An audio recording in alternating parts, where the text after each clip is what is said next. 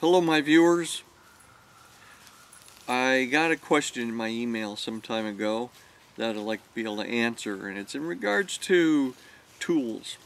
And the question is, for the most part, what are the most five, okay, uh, most important tools or valuable tools or something like that.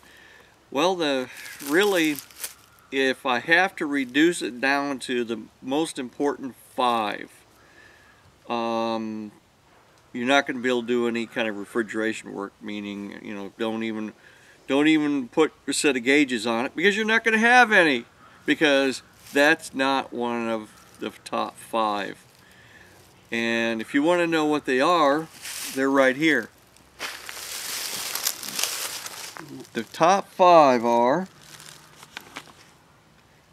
a screwdriver, okay, uh, that has the ability to uh, hold nut driver type bits and everything. And a little secret compartment here for your other bits. That's number one.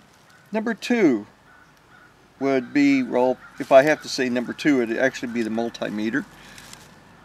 Because without the multimeter you're not going to be able to do a whole lot um, and it really needs to have a setting for um, your so you can test run capacitors so they'd be for, for uh, microfarad.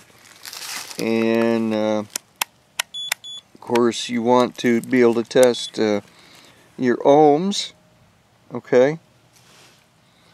And you want to be able to test your voltage and this is for continuity right here.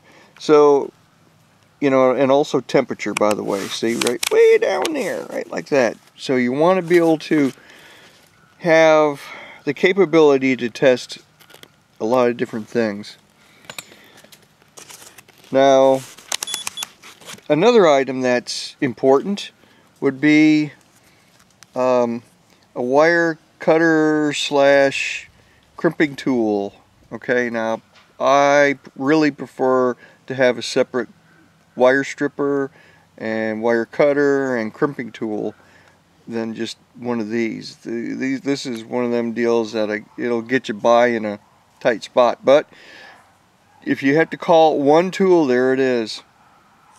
Another uh, would be just a regular adjustable wrench right here. A good one that is, not something cheesy, but a really good one that would adjust way out like like this one will.